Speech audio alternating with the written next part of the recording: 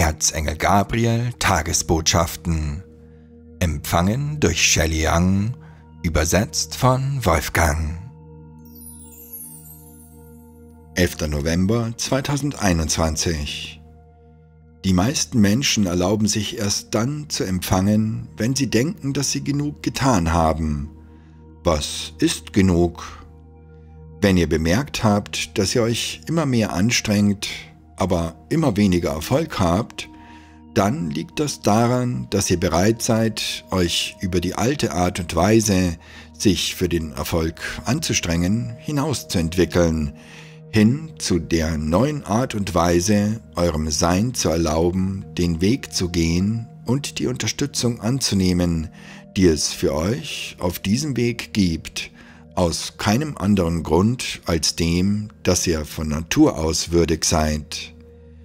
Die höhere Stufe, die ihr anstrebt, kommt dadurch zustande, dass ihr eurem Sein die Führung überlasst und schließlich mit absoluter Gewissheit wisst, dass das alles ist, was jemals von euch verlangt worden ist. Von da an werden die nächsten Schritte durch die natürliche Entfaltung eures höchsten Lebensausdrucks in euer Bewusstsein kommen. Erzengel Gabriel durch Shelley Young.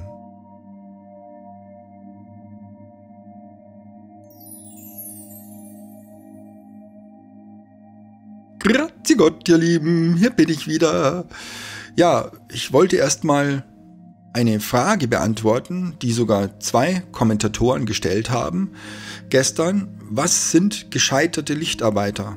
Was ist da passiert? Ja, Im schlimmsten Fall haben sich Lichtarbeiter in den letzten Jahrzehnten umgebracht.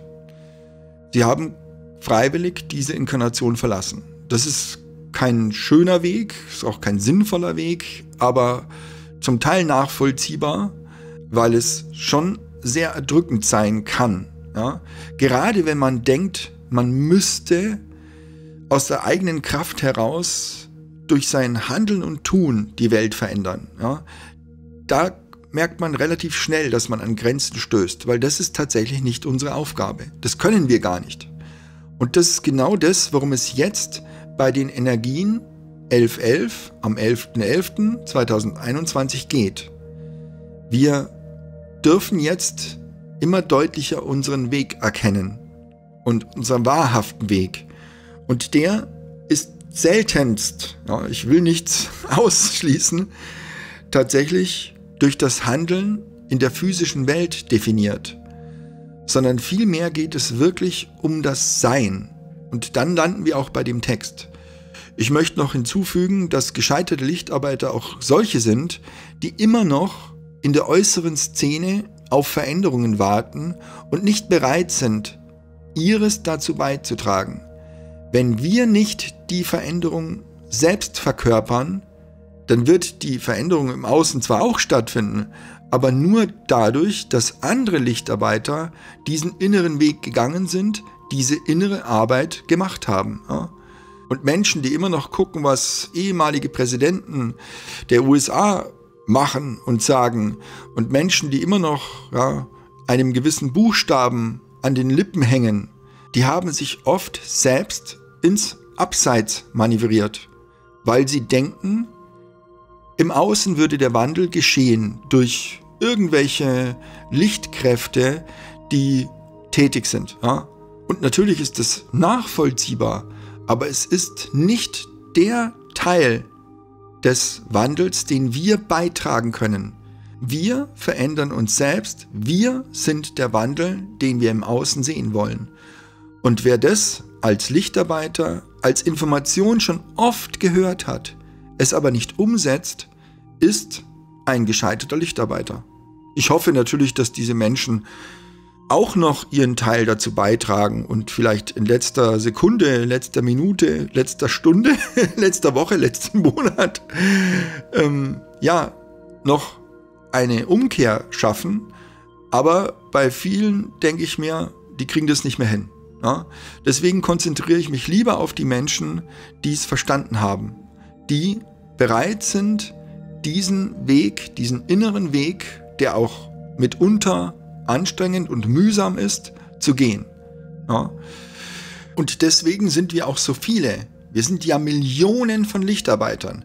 Wenn da ein paar hunderttausend scheitern oder vielleicht auch eine Million, weil es sind ja viele Millionen, dann ist das kein Problem. Ja, das ist schade. Ich hätte sie gerne alle mit an Bord. Das ist aber nicht die Realität. Ja, manche sind komplett verwirrt von den spirituellen Informationen und sehr überfordert. Manche haben sich zu schnell geöffnet, ja, und haben andere Energien hereingelassen und sind sehr belegt, sind sehr wütende Menschen, sehr hasserfüllte Menschen und äh, wehren sich gegen die Elite, aber in Wirklichkeit wehren sie sich gegen etwas in sich selbst. Und so kann es auch nicht funktionieren. Da bedarf es so großer Heilung, dass diese Menschen für den Wandel auch keine große Hilfe darstellen. Das muss man leider so sagen. Das ist das, was ich reinbekomme, das ist meine Wahrheit. Ja? Es kann auch sein, dass ich da falsch liege. Aber gestern wurde zum Beispiel auch witzigerweise durch äh, das Channeling des Arcturianischen Rats dieser Aspekt meines gestrigen Podcasts ein wenig ähm, äh, bestätigt. Das fand ich äh, ganz spannend, dass sie darauf eingegangen sind, gerade weil sie bestätigt haben, dass wir so viele sind. Und da steht es auch, ihr braucht viele, viele Menschen, die die Energien der höheren Frequenzen erden. Und das habt ihr jetzt. Ja, wir sind viele, viele Menschen. Es gibt aber auch aus meiner Sicht viele, die gescheitert sind bei dieser Aufgabe. Die diese Aufgabe in der Dichte einfach unterschätzt haben und sich haben in großen Teilen ablenken und manipulieren lassen. Und es ist klar, dass das passiert. Und es war auch klar, dass das passieren wird. Und es ist auch kein Vorwurf. Das hätte mir auch passieren können, ja. Ich habe halt Glück gehabt, in Anführungsstrichen. Und äh, bei mir ist es gut gelaufen. Manche sind noch nicht mal erwacht. Manchen von unseren Sternenschwestern und Sternenbrüdern ist es noch nicht mal gelungen, aufzuwachen. Das ist auch eine Tatsache. Und auch das ist nicht schlimm. Auch da ist kein Vorwurf darin. Wir sind so viele, weil wir gewusst haben, es wird auch in Anführungsstrichen Kollateralschäden geben. Ja, und die hat es gegeben. Und das ist aber auch nicht schlimm. Ja, das hat so viel Mut und so viel Größe dazugehört, sich in diese niederen Bereiche zu inkarnieren, in diese Dichte, in diesen, ja, ich sag's jetzt mal aus menschlicher Sicht, in diesen Wahnsinn, in dieses riesengroße Chaos, dass allen der größte Respekt gebührt und es ist nicht schlimm, wenn es nicht so funktioniert hat, wie sich das jeder von uns vorgestellt hat. Aber die gute Nachricht, wir sind viele und viele machen einen wunderbaren Job hier auf Erden, um eben die kosmischen Energien mit der Erde zu verbinden. Gut, und natürlich wird es jetzt deutlicher und ich hoffe auch natürlich, dass noch viel mehr Lichtarbeiter zu ihrer wahren Bestimmung finden und das auch noch viel mehr aufwachen und äh, eben mithelfen, dass der Wandel noch mehr an Schwung und an Tempo gewinnt. Das ist genau das, was wir jetzt brauchen. Und deswegen gibt es auch die Energien. Ja, wenn das alles von alleine gehen würde, ohne Hilfe von außen, weil das ist ja die Hilfe von außen, das Energetische. Und das gibt es sicher auch im übertragenen Sinne irgendwo im physischen Bereich. Ja? Aber wir können uns immer nur auf uns selbst konzentrieren. Wenn wir abwarten und gucken, was die anderen machen, dann machen wir einfach unseren Job nicht. Und das ist das, worauf wir uns konzentrieren können und sollten. Und ja, heute Abend mit WUK äh, wird es sicher in großen Teilen auch dazu gehen, das ist zumindest meine Inspiration, dass wir auf die Zeitqualität eingehen, die eben jetzt uns den Weg noch klarer zeigt, was unsere wirklichen Aufgaben sind. Und das kann sehr persönlich, sehr individuell sein. Ich rede hier nicht nur über das energetische, dass wir eben hier sind, um die Kanäle zu sein für die kosmische Energie, sondern das darf dann ruhig auch genauer sein und äh, wir sind ja auch im physischen fest verankert. Wir führen ein physisches Leben hier und auch da gibt es Hinweise, was zu tun ist. Ja? Wir wollen ja nicht nur rumsitzen und meditieren ja? und nur erden, sondern es ist auch Teil unserer Aufgabe, ein wirklich erfülltes Leben zu führen. Ja, ich hatte gerade eine kurze Pause und da habe ich reinbekommen, es gibt auch Teil gescheitert. das ist wieder so typisch für mein höheres Selbst, wenn sie es einmischt. Also, natürlich gibt es auch Menschen, die sich ablenken lassen von der äußeren Szene und dennoch einiges sehr wohl richtig machen und eben auch ein Kanal sind, vielleicht jetzt eben nicht der Kanal, der sie sein könnten, aber dennoch gute Arbeit leisten. Ja. Das wollte die geistige Welt hier noch einfügen, weil die Betrachtungsweise sonst sehr dualistisch wäre. Ja. Es gibt wie immer Grauzonen. ja, und wir haben ja auch eigentlich im Kopf, dass wir ja, große Dinge leisten müssten. Ja. Wann ist es genug? Ja. Und wann dürfen wir empfangen? Wann dürfen wir denn ein glückliches Leben führen? Ja? Wann haben wir genug gelitten? Es ist halt wieder dieses Märtyrertum, das da so ein bisschen drin steckt. Und eben dieser alte Glaubenssatz, schaffe, schaffe, Häusle baue. Also von nichts kommt nichts. All dieser ganze Quatsch und Schmarren. Und ich habe ja auch schon mal gesagt, mein größter Fehler, als ich für Kindererziehung ungefähr zehn Jahre lang zuständig war, war, dass es mir schwer fiel, jemanden für sein Sein zu loben. Ja? Ich hatte halt gehofft, dass die Mädchen damals an irgendetwas ein Interesse finden, ja, und eine Leidenschaft finden und man das dann verstärken kann, ja. So war die Große zum Beispiel eine sehr talentierte Leichtathletin, aber ja, schon nach dem ersten Wettkampf, auf dem wir auch waren, ähm, hat sie aufgehört. Ja? Hat sie keinen Bock mehr gehabt. Und das war in Ordnung. Also da gab es keinen Druck von uns und keinen Zwang. Aber ich hätte viel mehr verstärken müssen, dass es vollkommen in Ordnung ist, unabhängig davon, was man leistet, für was man sich interessiert, was man macht, eben dieses typisch physische Handeln, man den anderen schon einfach wegen seinem Sein feiern kann. Natürlich war ich damals auch noch nicht so weiter, das ist auch klar. Also ich hatte das Wissen nicht. Ja, das Wissen hatte ich schon, aber die Erinnerung an das Wissen hatte ich nicht. Und deswegen habe ich da einfach auch Fehler gemacht. Ja. Ich hätte viel besser positiv verstärken können und müssen und helfen können und dürfen, diese falschen Glaubenssätze aufzulösen bei den Mädchen. Ja. In gewisser Weise habe ich es sicher gemacht, aber nicht so, wie ich es hätte wirklich tun können. Ne? Sind wir auch wieder in der Grauzone. ja, witzigerweise ja, kommt auch gerade bei mir rein, dass Großeltern das oft besser können. Ja? Die lieben die Kinder einfach nur, weil es die Enkelkinder sind. Nicht dafür, dass sie tolle Sachen machen, also gibt es auch Ausnahmen, aber in der Regel werden Menschen irgendwann altersweise und vor allem stellt sich in gewisser Weise so eine Altersmilde ein, dass man eben sagt, ja, das ist nicht wichtig, ja, ich habe dich so lieb. Ja. Die sehen die Enkelkinder und sagen einfach nur, ach, das allein macht mich glücklich, ja.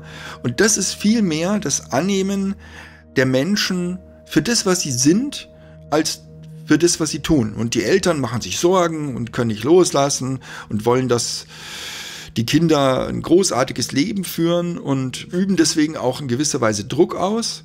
Aber viele Großeltern verstehen das schon besser. Ja? Die haben auch für sich in gewisser Weise damit abgeschlossen und genießen das Leben einfach mehr im Hier und Jetzt. Ja? Sehr spannend, was mir da immer so für Gedanken geschenkt werden, auf die ich nicht vorbereitet bin. Ja, und wegen all diesen äußeren Dingen kriegen wir auch zu spät Kinder. Ja?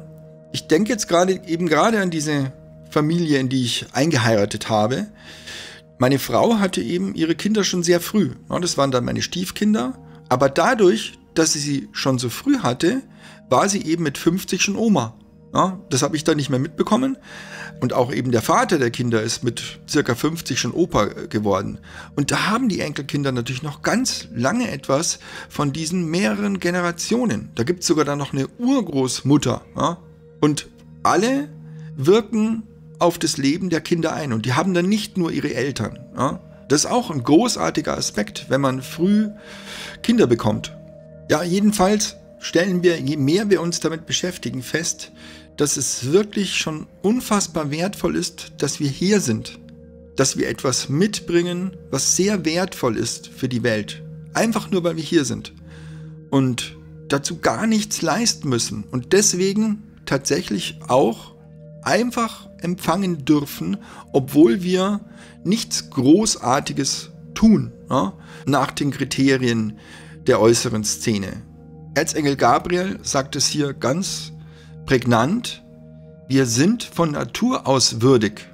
Ja, und die Höherstufung, so habe ich es jetzt übersetzt, ist ganz witzig, weil The Up-Leveling, also Level Up, das kennt man aus der Videospielszene eigentlich, ja, die wir anstreben, kommt dadurch zustande, dass wir unserem Sein die Führung überlassen und schließlich mit absoluter Gewissheit wissen, dass das alles ist, was jemals von uns verlangt worden ist.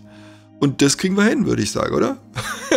da können wir ein bisschen loslassen von diesem inneren Druck, irgendetwas Großartiges machen zu müssen, was unfassbar auffallend ist.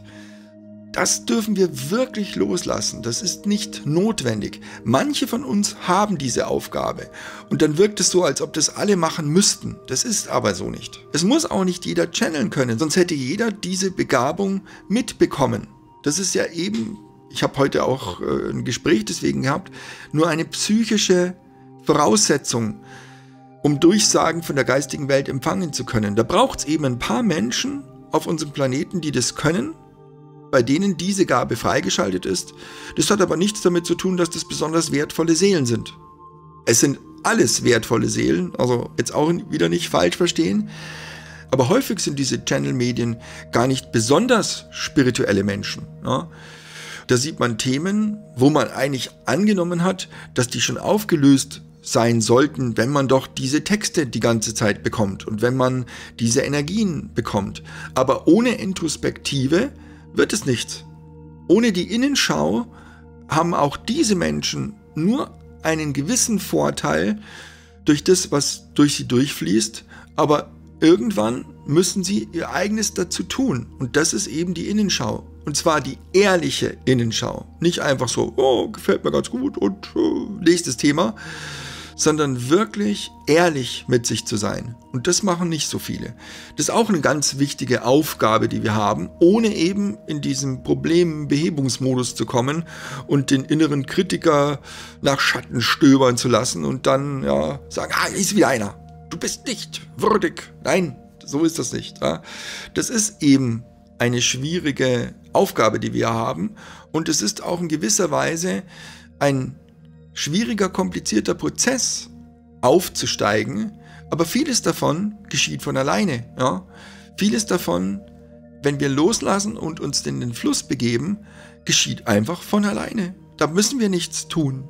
So, jetzt hätte ich vielleicht noch was zu sagen, aber ich verschiebe das dann einfach auf die Sendung, die wir dann gleich haben.